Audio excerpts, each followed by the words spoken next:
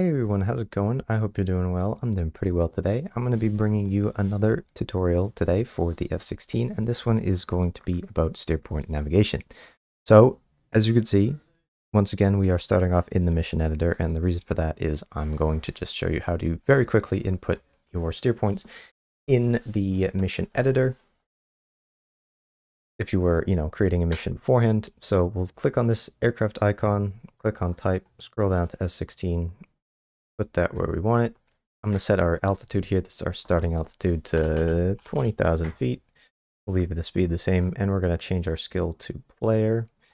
Then we want to make sure we have add boxed. We're going to put one here, and then we'll just do, I don't know, something like that. Doesn't really matter. Now, the altitude and the speed here, these don't matter that much unless you are setting this up for an AI aircraft that's not player controlled because that will be the speed and altitude that they fly at on the way to the steer point. Um, as far as I'm aware, the speed that you input does not make any difference for you in your aircraft, but the altitude can, because if you have it at 20,000 feet, for example, it will be, that's where it will be when you see it on the HUD. So but generally speaking, it doesn't really matter because the autopilot system and everything else, you'll still be able to navigate to it the same. But what I will do, however, is say we wanted, we had a target that was at this airfield. I like to set the steer point to zero. So we'll press zero and then it will automatically set that to whatever the ground level is. And the reason that I'm going to do that is because if we have a targeting pod, the targeting pod will automatically slew to whatever steer point you have selected. And it's a lot easier to find targets if you have a steer point, uh, you know, at a target area. If that's on the ground already, then it'll be easier for you to find that target area. Whereas if it's at 20,000 feet over this, you're still going to be having to find the target area anyway. So that's just what I generally do for this. Okay, so here we are now in the jet. And the most important page here for us is the HSD page. So we're going to be focusing on this a lot and I'm going to talk about through, you know, talk through what a lot of the symbology is here. So first of all, we have our range here on this side. Currently sets to 60 nautical miles. We can go up to 240 and down to 15. And each one of these circles here, the purple circles, refers to, you know, this is the full distance 60, then this is two thirds, and then one third, so 60, 40, 20 in this case. We also have this little triangle here, which uh, points directly north. And then here we have where all of our steer points are. So if I zoom out, you can see where all those are. We just set those in the mission editor. The hollow circles there indicate all of our steer points. The line through them is the flight path, and the solid white circle is the steer point that we currently have selected, in this case steer point 1, which is down there. We also have these two lines, which are the, are the fire control radar ghost cursor. So we can see on our FCR, as we move this around, it's also going to move our cursor around here. If we use DMS, display management switch down, we can make this soy, and then we can slew this around for various purposes. You can use this to select the waypoint that way is one of its functions.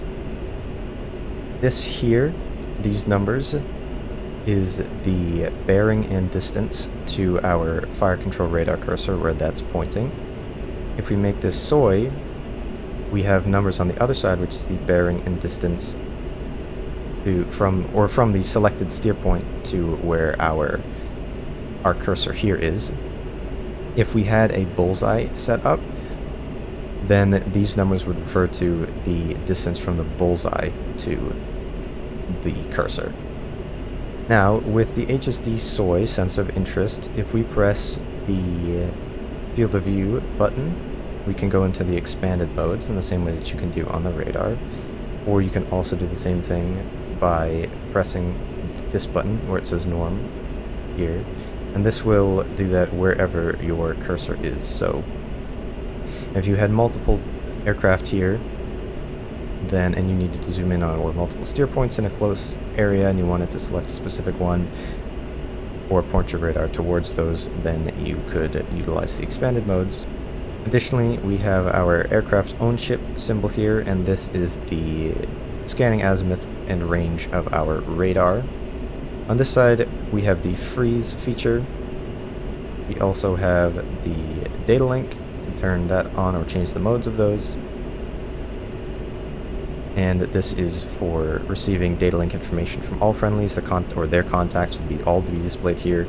This would just be from the flight lead, and this would just turn all of those off if we only wanted to see ours, but generally speaking, we're going to leave that as on because it will help with your situational awareness.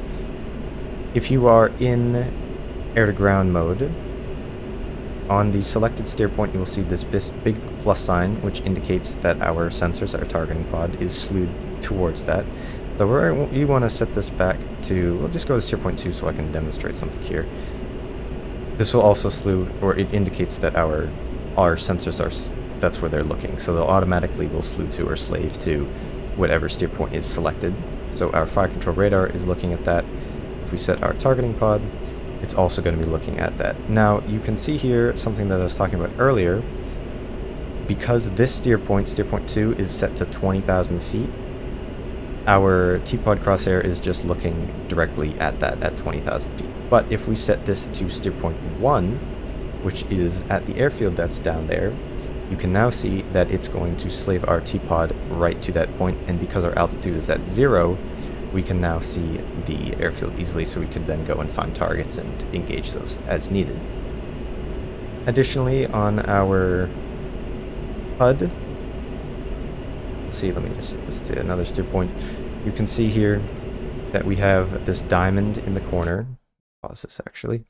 You can see this diamond in the corner which points to the direction of the steer point or where the steer point is. Because it's outside of the field of view of our HUD, it's just in this corner and has an X through it.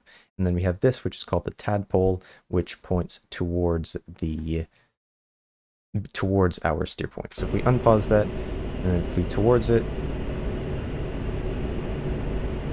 can see now that's visible on the HUD, and our the tadpole is just going to be pointed straight ahead and straight at it.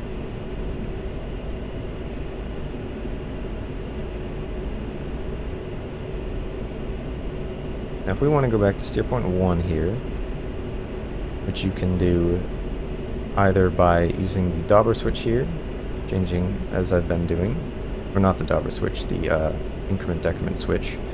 You could also go to steer point, say you wanted to set this to like steer point 5 and you didn't want to cycle through all those, you could just simply input 5 and then press enter and it would set it to that next steer point.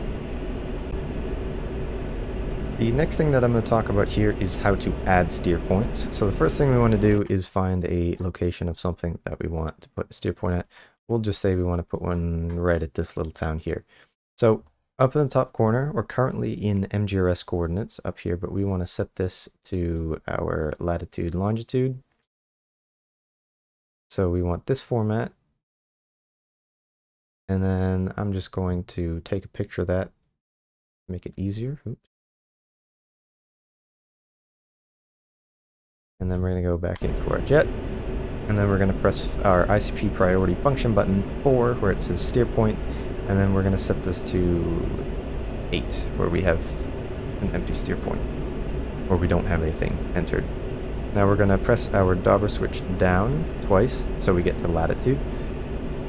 Then our coordinates here we want to press northing, so that's 2. You can see it says N there. 6 is easting, 4 is westing, and then we have south is 8. So because we're in the northern hemisphere, we're going to press N. Oops, got ahead of myself. N, and then input our coordinates. So 3609er, 284, enter. Dobber switch down again, easting, and then we're going to start with a 0 this time. As you can see, that's three digits there easting 0, 4, 4, 4, 4, 4, 8, 7. Enter. And then we're going to keep our elevation at 0. Well, actually, our elevation there is 1724 feet, so we'll enter that. Or, excuse me, 40, 1742 feet. Enter that. You can set it to whatever altitude, I suppose. And you can just hit return. And then on our HMD, we can see also the same thing. We have our diamond over there where the target, or the, excuse me, the um, our steer point is. And additionally, same symbology we have on our HUD as well as on our HMD. We have our range to the target here and here, and this is the selected steer point, so that's 8. So if I were to change this, you can also see it on our HUD there. If I were to change this to 7, it would give the same thing, range and current steer point selected, as well as our estimated time over steer point. And one or two last things here. First will be how to edit steer points. You do it essentially in exactly the same way that you would change, or that you would input steer points. So you're going to go to your steer point, ICP, priority, master mode, override button, whatever you call it. Find your steer point, and then you could just click, you know, start inputting whatever it was. Just change that. Or, you know, you get you get the idea. You would sim you would just change it exactly the way that you input it for whichever field. Uh, and the last thing here that I want to talk about is manual versus auto sequencing. So to do that, you want to use your dobber switch, make sure that you have the asterisks around man, press 0 and it will set to auto. So then that way, if you fly over steer point 1, it will automatically switch it to steer point 2. That can be useful if you are cruising for a while and if you're in autopilot mode.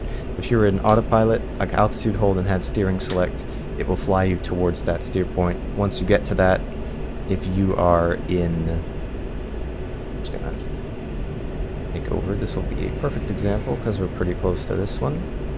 Just go altitude hold and steering select. Just set those up and down. And then once we get towards our steer point, because we are in auto mode, it will automatically have us turn towards the next steer point.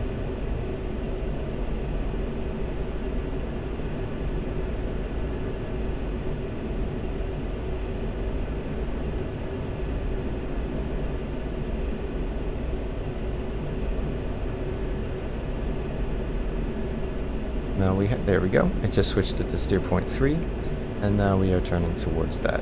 Whereas if it was in manual mode, it wouldn't automatically switch it and you would have to do that manually.